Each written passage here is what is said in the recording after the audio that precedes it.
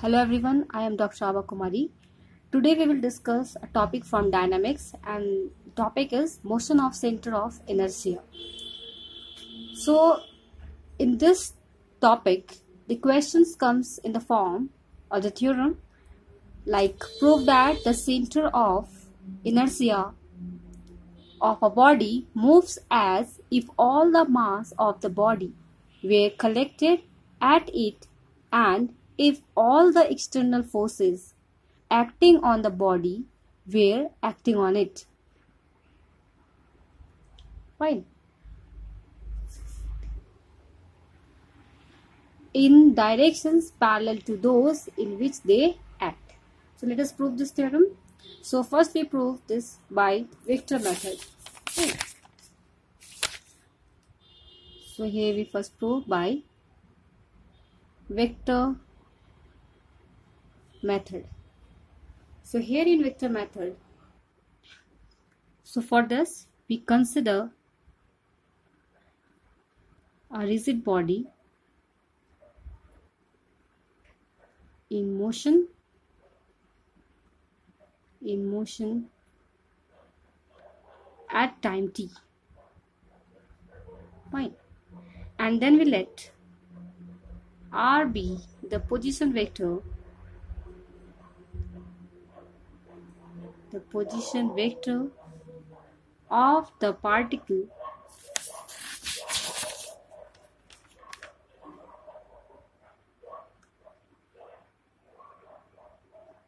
m of the body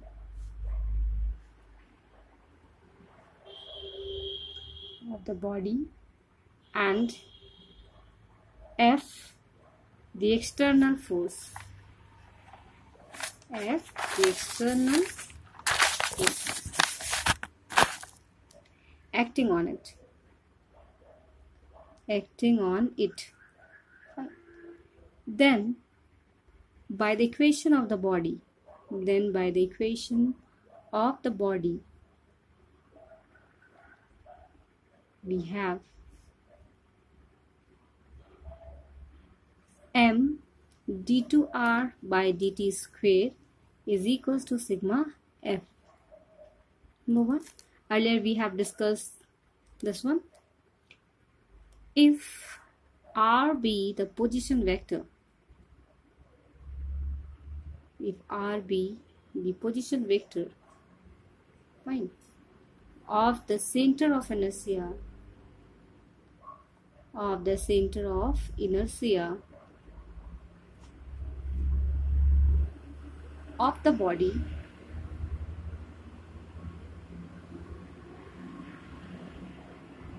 Then so what we have here is r is equals to sigma mr divided by sigma m and this value is given as sigma mr divided by m. So this implies the value sigma mr is equals to capital M and then R. So put this as equation number 2. Fine. But from 1 and 2, what we see from equation 1 and 2, we have. So what we have here is M d2R by dt square is equals to sigma F. This is the vector form of the equation of motion of a particle of mass m. So this is the vector form of the equation of motion of a particle of mass m mass m placed at the center of inertia center of inertia fine. Of the body. Acted upon by the external forces. External forces. Fine. Now let us see the Cartesian form. Cartesian form. So for the Cartesian form, let us take x equals to xi, yj and then zk. Therefore, dr by dt we can write like xi y dot j z dot k. Fine. Therefore, d2r by dt square is equals to x double dot i y double dot j and then z double dot k and since m into d2r by dt square is sigma f therefore here we have m now place the value of d2r by dt square from here. So what we get is x double dot i y double dot j z double dot k. And this value is equals to sigma f. So what the sigma f here is? X i y j and then z k. Therefore on equating both sides what we have? Now equating like terms we have so what we get here is capital X equals to mx double dot capital Y equals to m y double dot and capital Z equals to m z double dot.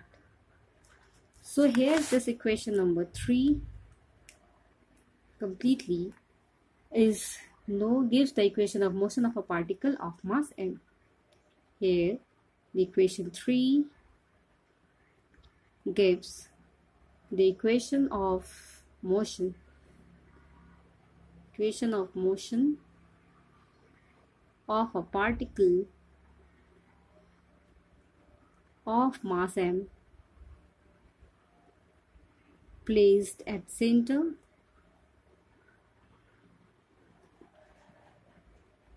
placed at center of inertia of the body and acted upon by the external force sigma f. Thank you.